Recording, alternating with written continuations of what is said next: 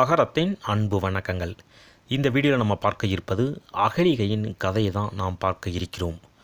கௌதம முனிவரின் மனைவிதான் இந்த அகலிகை. அவள் கற்புக்கரசியாக இருந்தாள். ஒருமுறை நாரதர் தேவலோகம் சென்றார். அங்கு சென்று இந்திரனிடம் அகலிகை பற்றியும் அவளின் அழகை பற்றியும் வர்ணித்தார். இதனால் இந்திரன் அவளின் அழகை நினைத்து மயங்கினான். எவ்வகையிலாவது அவளை அடைந்தே தீர வேண்டும் என்று பல சூழ்ச்சிகளை செய்து வந்தான் இந்திரன். அதற்கான சரியான நேரத்தை எதிர்நோக்கி காத்து கொண்டிருந்தான். அதற்கான நேரமும் வந்தது. கௌதம முனிவர் தினம்தோறும் விடியற்காலையிலேயே எழுந்து ஆற்றுக்கு சென்று நீராடுவதை வழக்கமாக வைத்திருந்தார். இந்த நேரத்தை பயன்படுத்தி கொள்ள எண்ணினான் இந்திரன். அதன்படி ஒரு நாள் நடு இரவில் கௌதமரின் ஆசிரமத்தை அடைந்த இந்திரன் சேவலைப் போல கூவினான். இதனை கேட்ட கௌத முனிவர் விடிந்து விட்டது என்று எண்ணி ஆற்றுக்கு நீராட சென்று விட்டார். அந்த சமயம் இந்திரன் கௌதமரின் உருவத்திற்கு மாறி ஆசிரமத்திற்குள் நுழைந்தான். அங்கிருந்த அகலிகை நாதா ஏன் சென்றவுடனேயே திரும்ப வந்துவிட்டீர்கள்? என்றாள். அதற்கு முனிவர் வடிவிலிருந்த இந்திரன் இன்னும் விடியவில்லை என்று பதிலளித்தான். அவ்வேளையில் அகலிகையை ஏமாற்றி அவளுடன் இன்பம் அனுபவித்தான் இந்திரன். அதே நேரம் விடிந்து விட்டதாக எண்ணி நீராட சென்ற கௌதம முனிவருக்கு இன்னும் விடியவில்லை என்பது நன்றாக புரிந்தது. மேலும் ஏதோ தவறு இருப்பதை உணர்ந்த அவர் விரைவாக ஆசிரமத்திற்கு திரும்பினார். அதே நேரம் இந்திரன் ஆசிரமத்தை விட்டு வெளியே வந்தான். முனிவரும் இந்திரனும் ஒருவரை ஒருவர் பார்த்து கொண்டனர். தன்னைப் போலவே ஒரு உருவம் இருப்பதை பார்த்த கௌத முனிவர் குழப்பமடைந்தார். அதே நேரம் அவர்கள் இருவரையும் பார்த்த அகலிகை குழப்பமடைந்தார். கூடவே அதிர்ச்சியும் அடைந்தார்.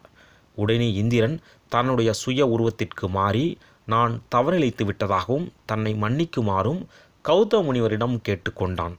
என்ன நடந்தது என்பதை தன்னுடைய ஞானத்தால் அறிந்த கௌத முனிவர் ஆக்ரோஷமாக இந்திரனை பார்த்தார். இந்திரன் அதை பார்த்து நடுநடுங்கி போனான். தன் நிலை குறித்து வெட்கி தலைகுனிந்து தன்னை மன்னித்து விடும்படி மன்றாடினான். ஆனாலும் முனிவரின் கோபம் அடங்க மறுத்தது. காமத்தால் மதி இழந்த இந்திரா எவரும் செய்யாத ஒரு குற்றத்தை ஒரு படுபாதக செயலை நீ செய்துவிட்டாய்.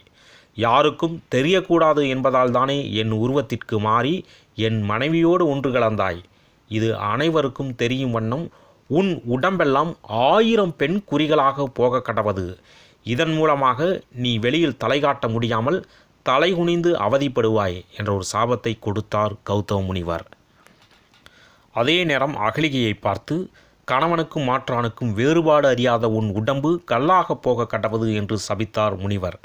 அதற்கு அகலிகை நாதனே நான் தெரியாமல் செய்த பிழையை மன்னித்து அருள வேண்டும். உருவத்தைக் கண்டு உடலை பறிகொடுத்தேன். இதற்கு விமோச்சனமே கிடையாதா? என்றாள்.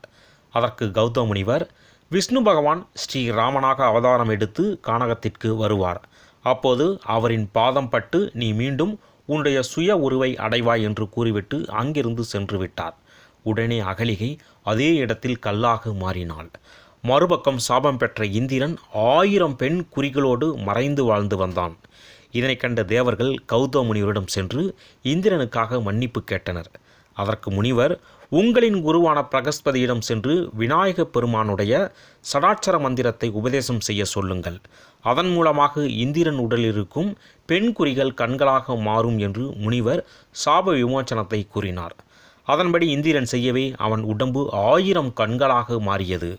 இதன் காரணமாகத்தான் இந்திரனுக்கு ஆயிரம் கண்ணுடையான் என்ற பெயரும் ஏற்பட்டது.